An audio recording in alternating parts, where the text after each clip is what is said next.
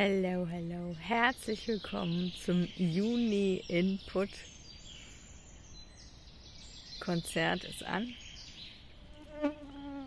Und ich bin auf Reisen. Wenn ich auf Reisen bin, dann kommt auch immer in meinem Gehirn was in Bewegung. Und ich drehe jetzt mal die Kamera um. Und das ist doch schon ein super Einstieg, denn der Juni-Input dreht sich um Wahrnehmung. Ich weiß nicht, ob du meine Liste mit den Wörtern kennst. Hm, wahrscheinlich nur, wenn du bei mir im Coaching bist, weil ich da noch gar kein PDF gemacht habe. Aber du hast das sicher schon öfter im Internet gesehen, dass man Wörter wegen der Wahrnehmung so mit einem Bindestrich trennt. Also wahr, Bindestrich nehmen. Oder auch hin, Bindestrich hören. Oder es gibt da noch viele Beispiele. Und diesem Wahrnehmen möchte ich den Juni-Input widmen. Ich bin hier im Upstalsboom in Vareldangast,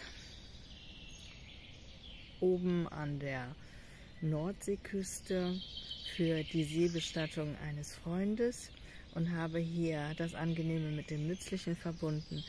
Das heißt, ich erhole mich hier gleichzeitig mit dem die letzte Ehre geben. Und deswegen bin ich vielleicht auch ein bisschen sensibel, sensibilisiert, was ich so wahrnehme. Und tatsächlich übe ich ja auch das Wahrnehmen schon ganz, ganz lange. Das fing mit der Achtsamkeit vor ich glaube, acht bis zehn Jahren an. Und ich spüre für euch, wie wichtig das ist für mein Coaching, dass ich das nächste Level erreicht habe und das noch viel, viel besser erklären kann. So, zwei Minuten Einleitung reichen jetzt.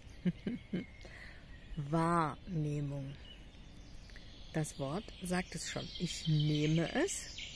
Das heißt, das ist passiv und ich nehme es für wahr. Also echt. Was ich da sehe, höre, spüre. Und da fängt die Magie an, wenn du nämlich eine Lebensgestalterin sein möchtest.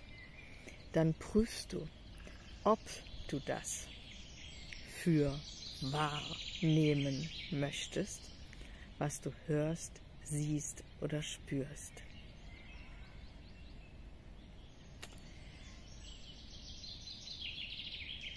Fühl da mal rein und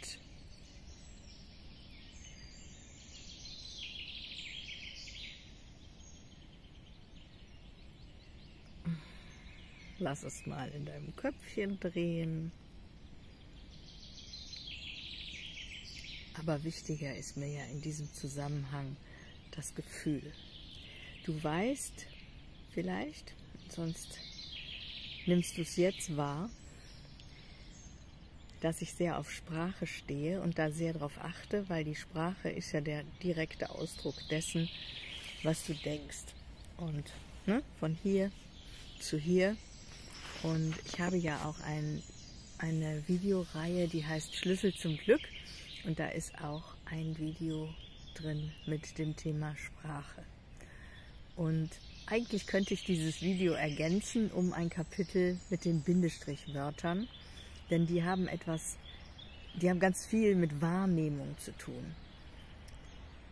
Ob ich so ein Wort mit Bindestrich schreibe oder nicht, macht etwas mit der Wahrnehmung. Probier es mal aus und google mal und such mal selber Wörter. Ach, das Leben ist doch super. Hier kommt der nächste Teil. Wahrnehmung wird durch Erfahrung geprägt. Das, was eben passiert ist und das, was ich gedacht habe, hat etwas mit meiner Erfahrung zu tun. Und dann treffe ich eine Entscheidung. Eben war das so, da hätte ich mich entscheiden können, jetzt wütend zu werden. Und dann hätte ich mich so entscheiden können, wie ich das getan habe, nämlich mal überlegen, wenn ich denn wütend geworden wäre, woran das liegt. Denn wir ärgern uns immer nur über uns selber. Also hier hätte ich auch einfach die Hunde an die Bank, auf der ich gesessen habe, festschnallen können. Habe ich aber nicht getan. Ich habe gedacht, ich könnte die locker in der Hand halten. Wenn dann aber einer Blitz startet, dann ist er halt weg. Ne? Und passiert ist da gar nichts. Aber ich meine, wir haben hier Leinenzwang und äh, der andere Hund war lose und meilenweit war das Frauchen entfernt. Aber spielt ja alles keine Rolle. Erstens ist es jetzt vorbei und zweitens ist immer nur die Frage bei dem, was passiert, was mache ich draus?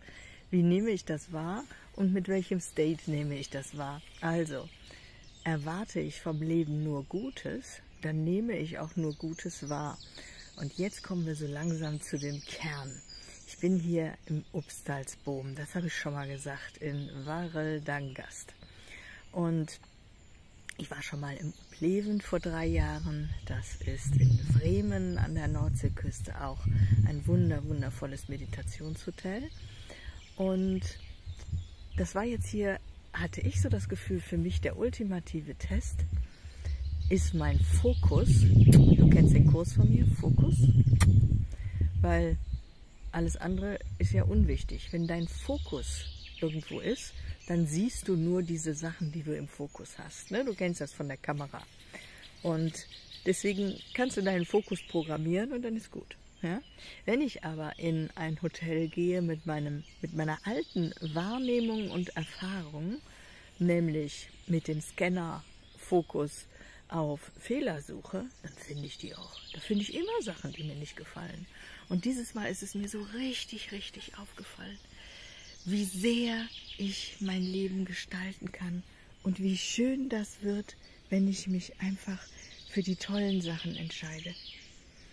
Denn die sind ja da, die sind immer da. Das ist dieses, weshalb man so sagt, ach, wenn du ein Dankbarkeitstagebuch schreibst, dann verändert sich ja schon mal dein Fokus. Ja, das ist ganz nett. Aber viel besser ist es, dich von vornherein deine Wahrnehmung zu programmieren auf die schönen Dinge. Was will ich? Will ich Dinge, die ruhig sind? Dann nehme ich die bewusst wahr. Das ist so wie so ein Filter. Ne? Hm, wenn du schwanger bist, siehst du nur Schwangere. Also das hängt alles, alles, alles zusammen. Die Wahrnehmung, die Erfahrung, die Entscheidung. Ich hoffe, dass mein Juni-Input dir nochmal einen richtigen Schub in Richtung noch leichteres, schöneres Leben gibt. Und wenn nicht, noch nicht, wenn du Lust hast, mit mir mal zu walken und zu talken, auch dazu habe ich gerade eben zwischendurch noch ein Video im Wald gedreht, dann buch dir das doch einfach mal, weil wenn du danach, wenn du die Wahrnehmung hast, boah, ist das teuer, dann hast du die Wahrnehmung nicht auf dem Wert, was es dir erspart und was es dir bringt. Da kannst du einfach die Perspektive wechseln und schon dir mal etwas gönnen, anstatt, ja, keine Ahnung, was Vergängliches, eine Handtasche oder sowas. War jetzt nur ein Beispiel. Ich wünsche dir